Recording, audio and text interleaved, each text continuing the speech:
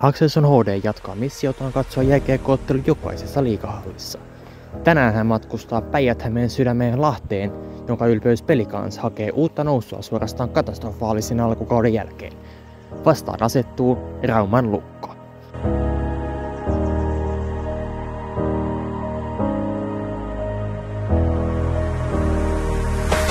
Päästäkseen Tampereelta Suomen Chicagoon Axelson HD on ensin junailtava itsensä Riihimäelle ja kuudessa minuutissa löydettävä sieltä oikea juna. Tämä haaste ei kuitenkaan osoittautunut ylitse pääsemättömän vaikeaksi.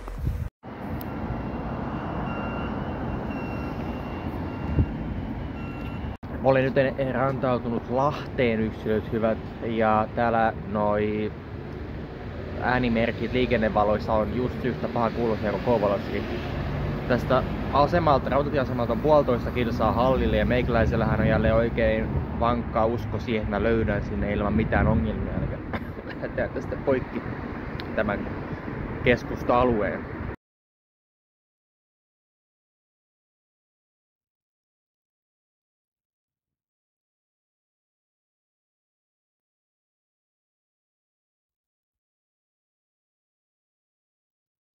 Jos lähtee vertaamaan tätä tähän Kouvolaan, niin tämä Lahden kaupunkihan muodostuu ja nämä muodot on niin se salpausselän, eli jääkautisen tämmöisen moreenin muodostuman pohjalta.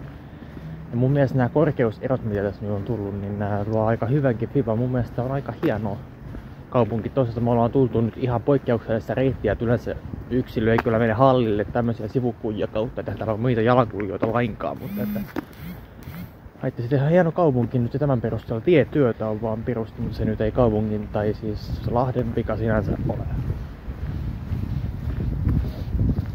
Mitä nyt vielä Suomeen Chicagosta? Valtteri Bottas omistaa pienen osan tuosta pelikanssista. Bottaksella myöskin Aition numero 77 nyt oli Esku mutta hän nyt siellä ei kerkiä olemaan juurikaan, varsinkin nyt kun hän ajaa siellä kotassa tänä viikonloppuna. Kapasiteetti on 4404 katsoja, se on todella vanha, se on myöskin meidän latotyyppinen ratkaisu, mutta tuota, kai siellä ihan tunnelmaa on.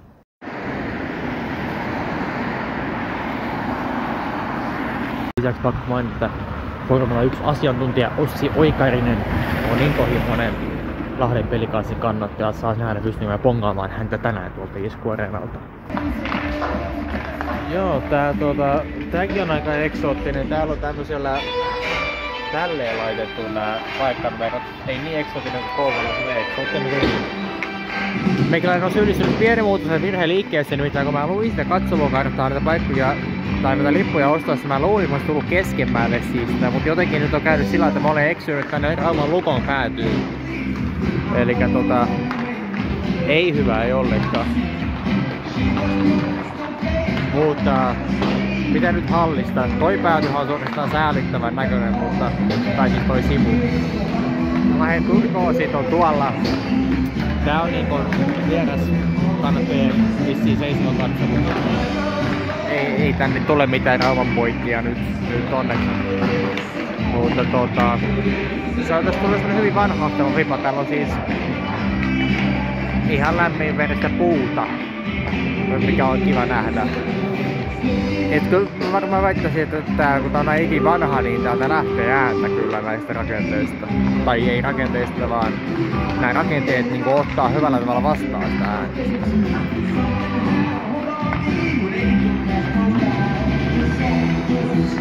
Väritykseltähän tää on tosi tyylikäs, mutta siihen se oikeastaan jää. No, on tää, pää, tää sivu on ihan kiva, mutta toi toinen, sitä mä en haluaisi katsoa.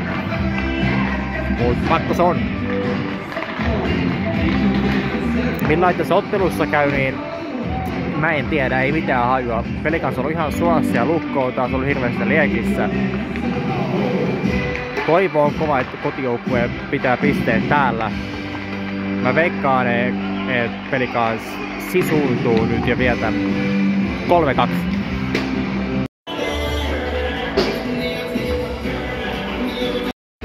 Voisiko nää saada pois pikkuhiljaa täältä tämmöset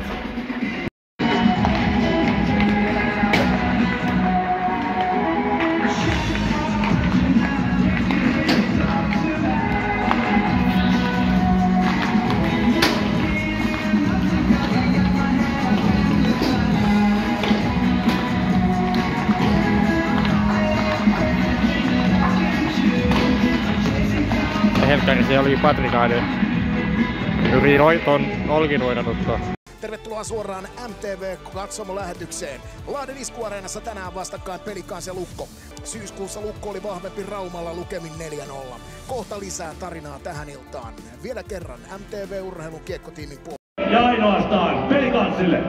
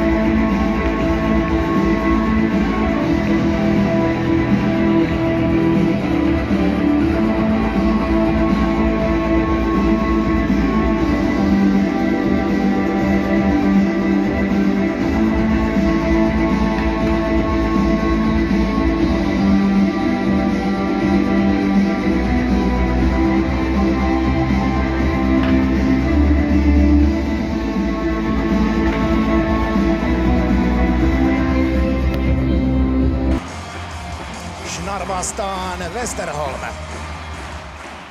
Patrik Westerholmin aloitesoitto tulee siihen! Ja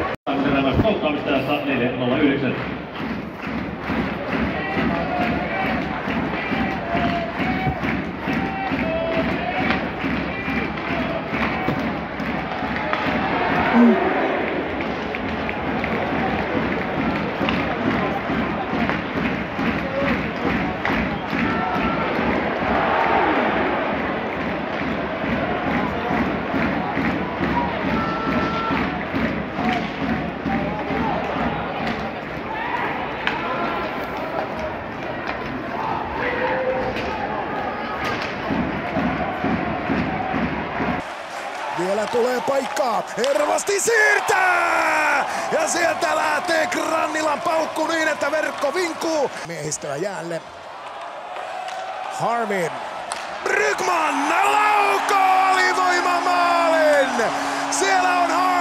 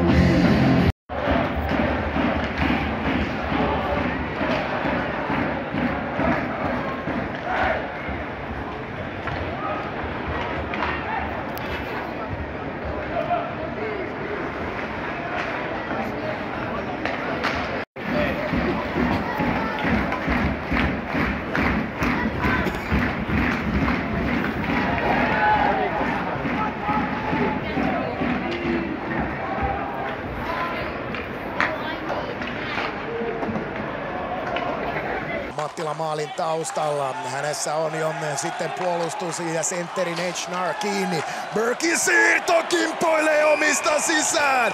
Sitten nahistellaan vielä maalin taustalla. Telekokanttana 2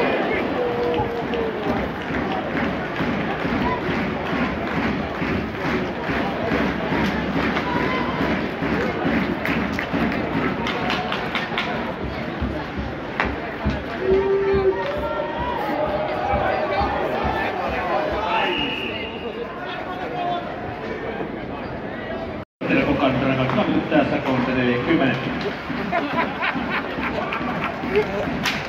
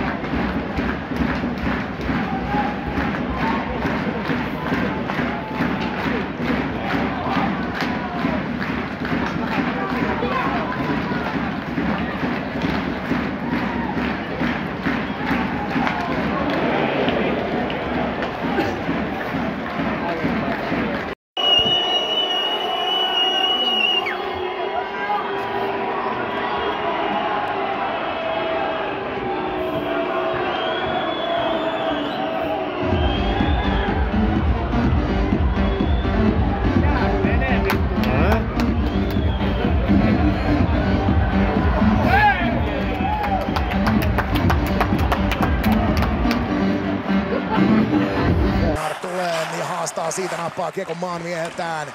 Abtiltä syöttö on koteensa ja on napakka laukaus. Ka-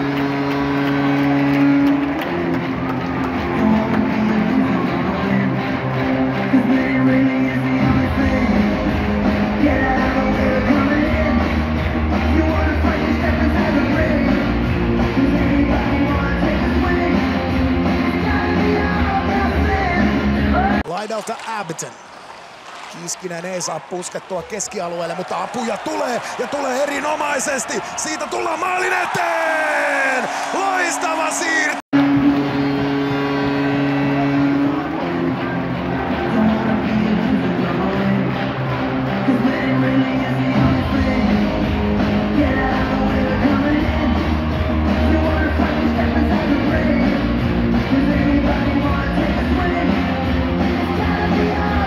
Westerholmin veljekset ja Gabriel Fontaine sitten samassa kentässä. Ja siellä on Lämsän pistänyt vähän ketjuja uuteen uskoon! Pontus Westerholm tuo lukon kuvaan mukaan, kaventaa neljään kolmeen. Eli Reunaselta hyvin pelaa jälleen puolustusalueen Reunanen. Ja vajaan kaksi minuuttia kellossa aika. Carlson naamuttaa!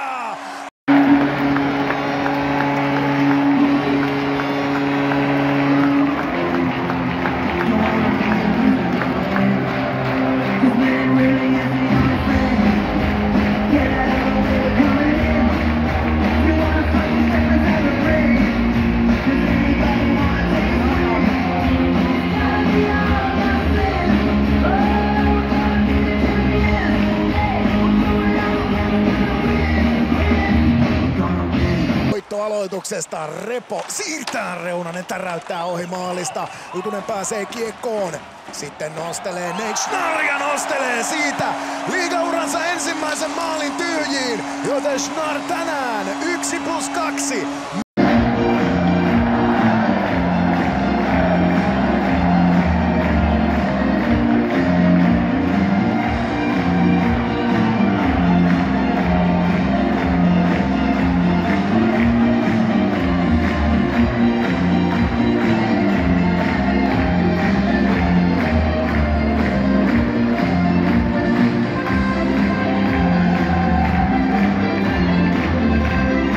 No niin, nyt me ollaan enää Lahdessa lainkaan, mutta pieni yhteenveto. Mä totesakin mun vasen silmänä yhtään itkevän, se johtuu siitä, että puhaltaa voimakas tuuli lännestä päin. Pelikans voitti 6-3, se oli hyvä. Ja myöskin se katsomistapahtuma on siinä mielessä mielenkiintoinen, että se peli säilyi niin kuin tiukkana. Lukko pelasi todella huonosti, Pelikans pelasi myös. Et ei se niin kuin, niin kuin jääkiekon juhlaa ollut missään nimessä se ää, tämmöisiä huomioita, mitä me tehtiin katsomusta, niin Jussi Olkinuora niin kuin epätavalliset tai siis harvinaisen paljon liikamaalivahdeista niin kuin puhuu ja käyttää sitä ääntä. Se on tietysti hyvä juttu, mutta se pisti silmään tämmöinen yksityiskohta, kuinka paljon Olkinuora äänellä ohjaa sitä omaa. Sitten välillä vähän, vähän mun mielestä helpotonta katsomusta huutaa, mutta silleen, jännästikin, että jos siellä on oikeasti kova paine ja lukko antaa sieltä takakarvaa, niin siitä olkinuora huutaa, että rauha, rauha, että kierrätä, kierrätä alakautta, vaikka siellä olisi, vaikka siellä olisi hirveä paine tulossa. Tämmöisen yksityiskohdan tein. Mutta mennäksemme nyt itse halliin, niin kyllä se oli loppupeleissä ihan ok. Aluksi se oli todella laimea. Sisään tulo oli siis tosi mitään sanomaton. Ja tota, tuntuu, että se ei oikein päässyt mukaan, mutta kyllä se, missä mä tykkään niin yleisössä on se, että se sen laulamisen sijaan keskittyy reagoimaan niin pelitilanteisiin, taklauksia, jos joku peli kanssa pelää vedetään kumoa ja näin poispäin. Niin siihen yleisö reagoi vahvemmin kuin monessa muussa, että plussat siitä. Ja halliin mitä tulee, niin näitä käytävätilat ihan ok. Siellä oli paljon niin oheistoimintaa, kaiken maailman shoppia ja, ja tota, se hyvin se väriteema kiersi siellä hallilla että tota, mä sanoisin, että se halli, annan sille ihan puhtaat paperit. Satui vaan itse justi istumaan sen kaitteen takana, että mä oikein mennä nähdä sitä vaihtopenkkien puoleista sivua. Mutta tota, se nyt, mitä mä sanoisin siitä, ihan kohtalainen. Plussat, semmonen semi-kiihkeä tunnelma, yleisö reagoi oikealla tavalla, siihen tuli semmonen hyvä jännite.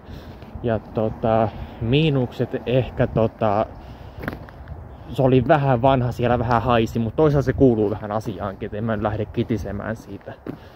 Mutta tunnelma sanoisin, että en lähtisi kehumaan. Aika lailla samalla tasolla varmaan kuin oltiin, oltiin Kouvolassa. Toki tässä nyt ei ollut samanlaista jännitettä niin kuin vastustajan toimesta. Se Kouvolan peli oli Kaakon derpy. Tässä nyt lukkolaisia siellä oli siis muutama paikalla. No oli siellä muutama kymmen paikalla. Mutta ne oli sille hajaksiin siellä